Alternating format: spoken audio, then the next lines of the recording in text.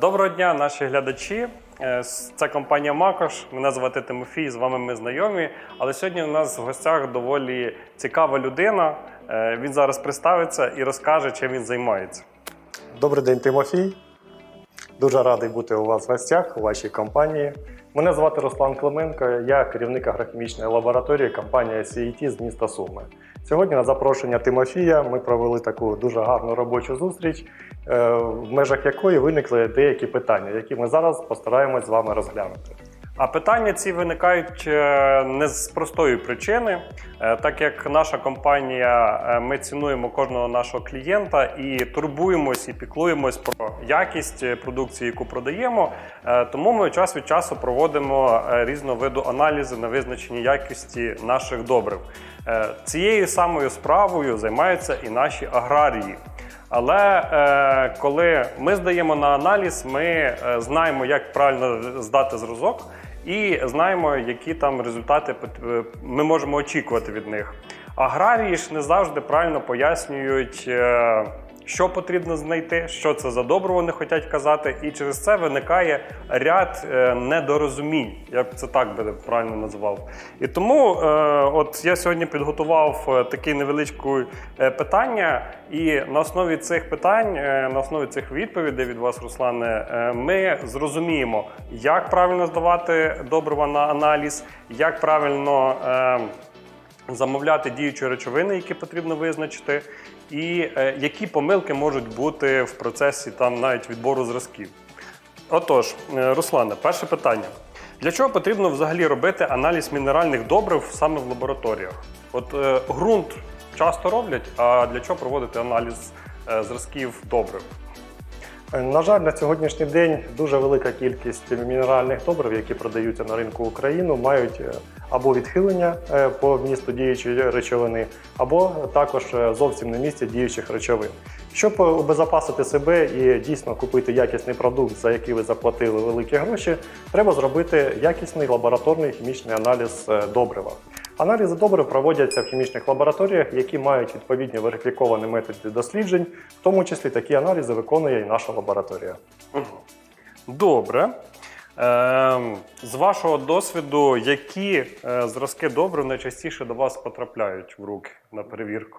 Е, З огляду на сезонність, найбільша кількість добрив, які надходять на перевірку і на вхідний контроль якості, це рідкі добрива каси, тому що їх підробити доволі легко. Також дуже багато зразків надходить як е, добрив азотної групи, це карбамід, аміачна селітра. І також це стосується НПК різного типу. Угу.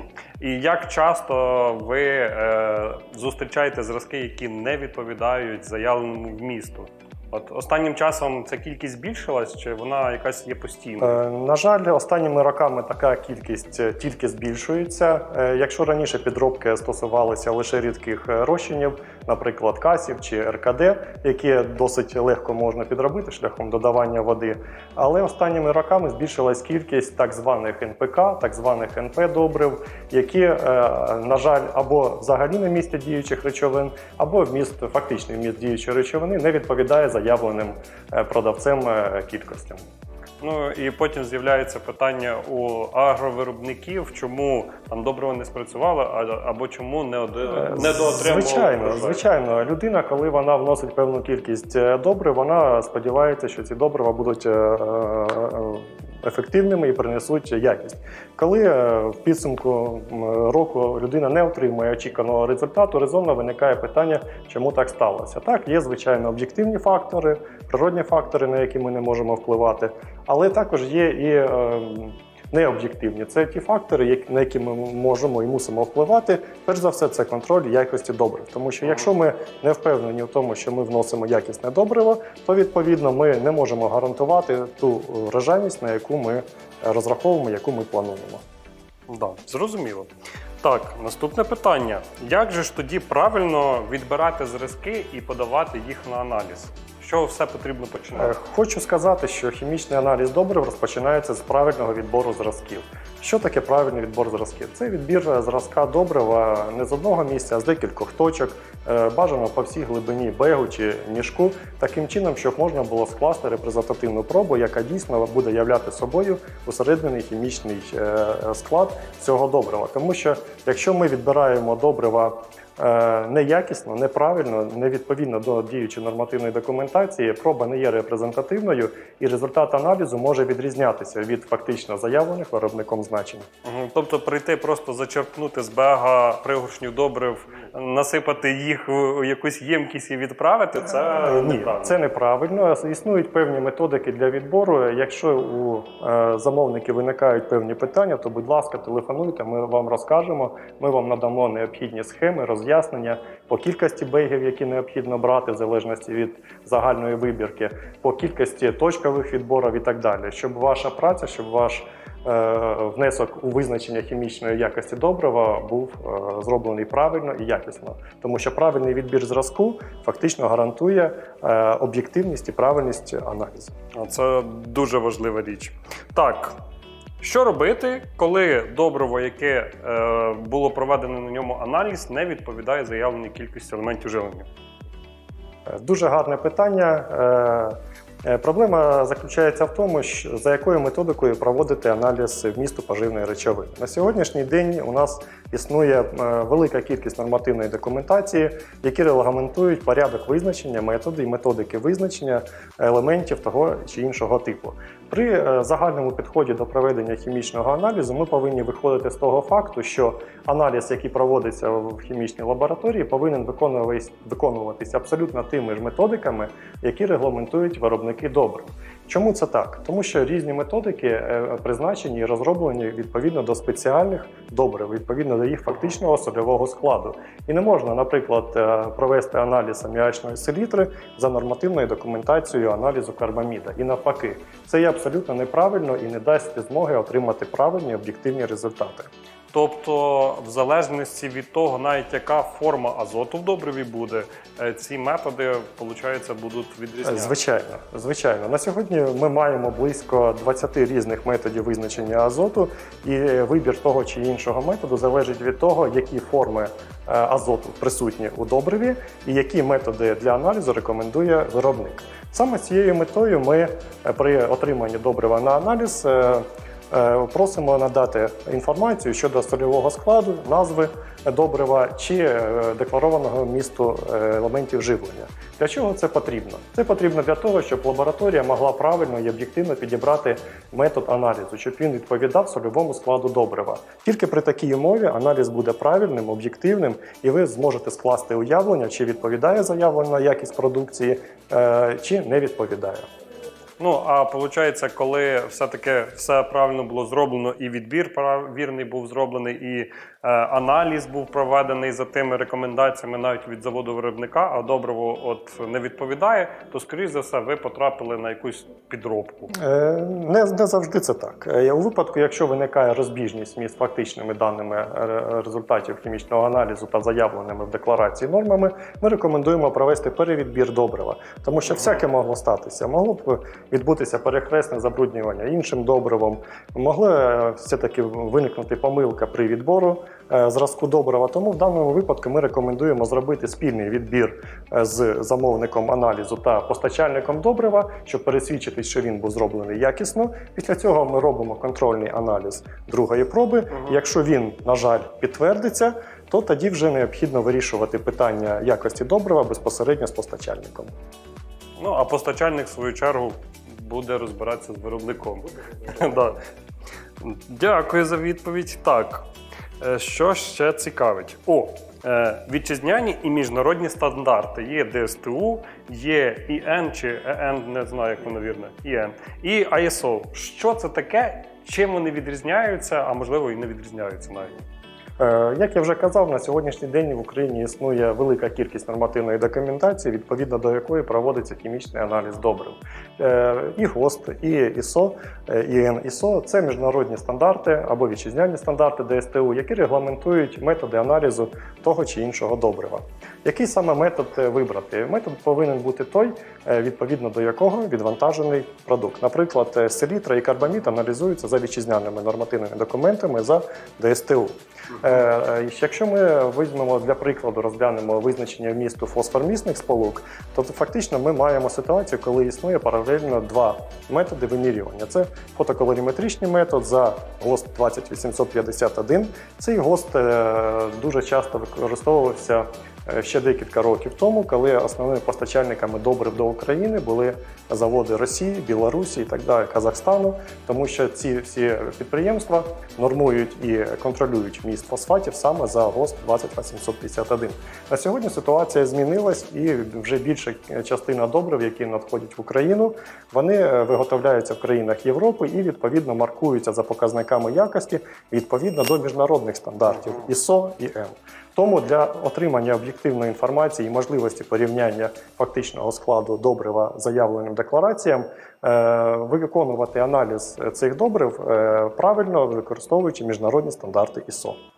Які потрібно вимагати у постачальника або у виробника навіть. Тобто, які ці стандарти були застосовані Назву стандартів. Самі, самі стандарти має кожна лабораторія, тобто Ага. вона придбала ці стандарти, вона за ними може працювати. А від е, постачальника добрив е, ми е, бажаємо і маємо отримувати інформацію щодо нормативної документації, відповідно до якої вони проводять відвантаження.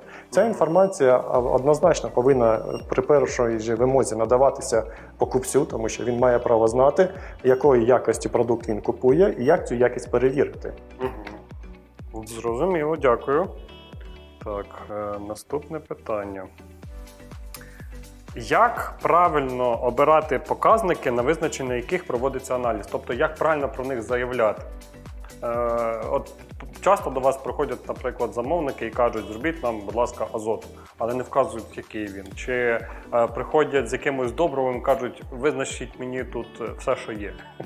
Чи це взагалі реально зробити, чи е, є якісь інші е, методи? Це зробити реально, але правильно робити таким чином, відштовхуючись від тих форм азоту чи це фосфору, які замовник бажає визначити в мінеральному добриві. Тобто, якщо е, яка цікавить вміст там, нітратної форми чи амонійної, будь ласка, ми це визначимо. Е, Бувають ситуації, коли замовники цілеспрямовано не хочуть давати такої інформації, тому що вони чомусь вважають, що е, ця інформація піде е, не на користь е, хімічному аналізу. Е, Зазвичай це не так. Е, Для чого потрібна в лабораторії інформація про якісний склад, сольовий склад і посилання на нормативи е, нормативної документації? Це потрібно, потрібно для того, щоб об'єктивно і правильно вибрати методику аналізу, тому що від цього залежить правильність аналізу. Крім того, е, з тієї причини, що, наприклад, е, існують і декларуються різні форми фосфору. Деякі виробники декларують фосфор загальний, деякі регламентують фосфор водорозчинний. Там хтось регламентує фосфор розчинний цитраторозчинний, у морошині, кислоті і так далі. Тобто е, замовник, коли подає заявку на проведення аналізу, має вказати, яку ж форму фосфору, е, як- вміст якої форми фосфору він бажає отримати.